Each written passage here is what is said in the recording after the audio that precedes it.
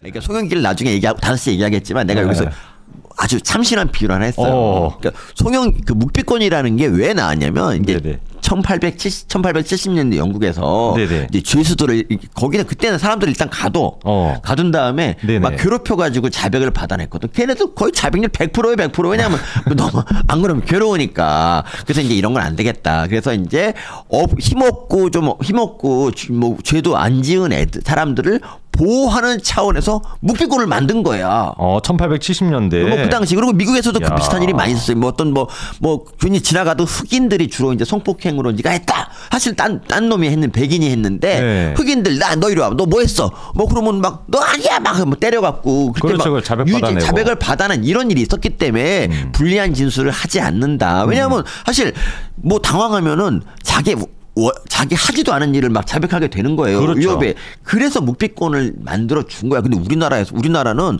정말 권력자 좌파의 거두. 그러니까. 송영길은 진짜 머리도 진짜 크잖아. 가뜩이나. 근데 좌파의 이런 거두들이 그러니까 검찰하고 맞짱 뜨고 판사도 우습게 하는 놈들이 그리고 죄를 또 지은 애들이야. 그렇죠. 그런 애들이 묵비권을 행사하는 거예요. 이게 이거는 우리 일반 서민들에게 준 권력을 지네가 어, 지네가 뺏어 쓰는 거고 이걸 제가 뭐라고 비유했냐면요. 이번에 그 기생충. 아니 LG가 네. 29년 만에 우승한 거 아세요? 그거 들었습니다. 그렇죠. 한국 시리즈 29년 만에 우승했는데 그래서 29% 할인 행사를 합니다. 아. 그래서 할인이 그- 이- 파격적이잖아. 네네네. 그러니까 이게 매, 다 매진이 되는 거야. 어. 근데 그때 막 29% 하려고 줄을 서 있는데 네네. 막 SK 회장이 서 있어. 그리고 그 앞에 이재용 회장이 서 있어. 그럼 우리가 어떤 생각하겠습니까? 야, 니네 좀 너무하지 않니? 이 나쁜 놈들 니네 왜 할인해서 사냐? 이 나쁜 놈아 이렇게 하겠지. 아, 대기업 회장이 대기업 회장이 어. 29% 자기도 할인 받겠다고 줄을 서 있는 거야. 아. 그럼 우리 뒤에 있는 사람들이 열받잖아. 그렇죠. 돈도 많으면 니네들 써야지. 어. 왜 이렇게 하냐고. 지금 송영길이 딱 그러고 있는 거예요. 이 너무 어. 너무 멋진 비유가 너무 멋져가지고 이게 좀 비유가 확산될 줄 알았는데 비유가 약간 좀 설득력이 떨어지는데 교수님.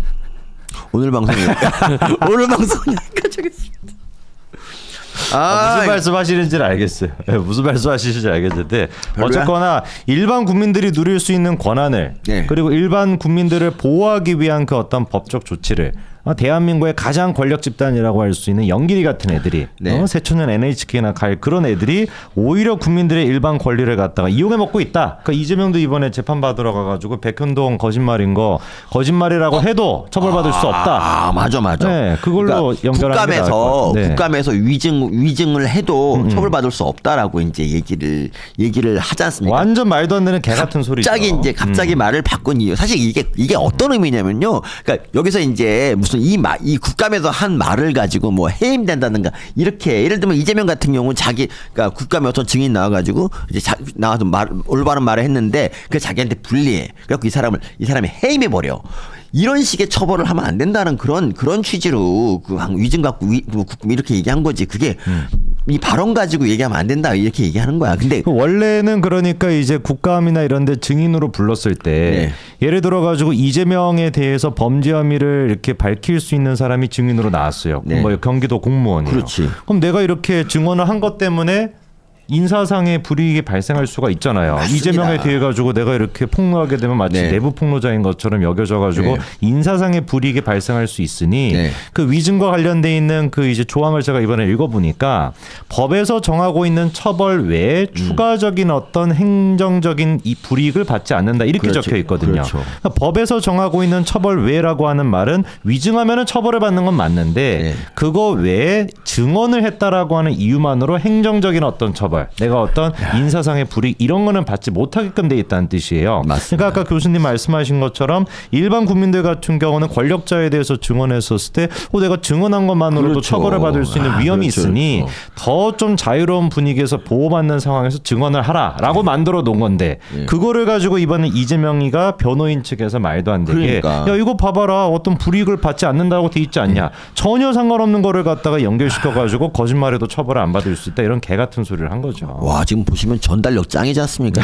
이것이, 이것이 바로 natural born 유튜버야. 진짜. 교수님 하시고 싶었던 말- 원래 하셨던 말씀을 그냥 정리하고 어, 아니 그러니까 네. 있잖아요. 자기가 위증이 아니라 자기가 본대로 말했다고 해도 권력자들은 그걸 뒤집어서 자기가 거짓말쟁이를. 만들어 버릴 수도 있고 이로 인해서 해임 처분을 될 수 있는 거잖아요. 그렇죠. 그러니까 음. 이런 걸 막- 이런 걸 막는 거고 그런 걸 막기 위해서 만들어 놓은 거를 이재명이가 야 이거 봐봐라 거짓말해도 불이익 안 줘야 되는 거잖아. 이야. 이따위 지금 얘기를 하고 앉아 있으면 이게 뭐 말입니까? 이게 그 뭡니까? 여러분 조국이 한 달 좀 남짓하고 33일 만인가 이제 법무장관 그만뒀잖아요. 네. 근데 이제 그거에 대해서 왜 그만뒀냐 하니까 이제 뭐 주진우 같은 그런 이상한 애는 뭐 정경심이 뇌정향이라서 그렇다. 뭐 존재하지 않는 저 뇌정향.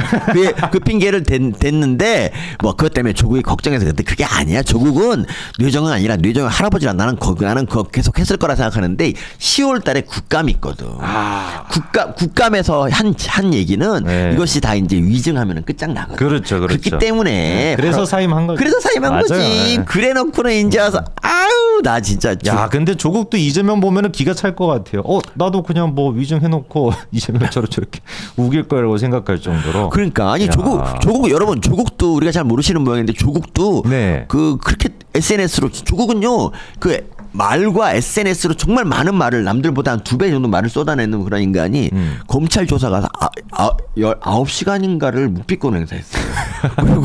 그리고 그리고 그렇게 불러달라고 하소연 하더니 가가지고 한마디도 안 하고 검찰이 주는 밥을 먹을 수 없다면 이 난리를 또 치고 있잖아요.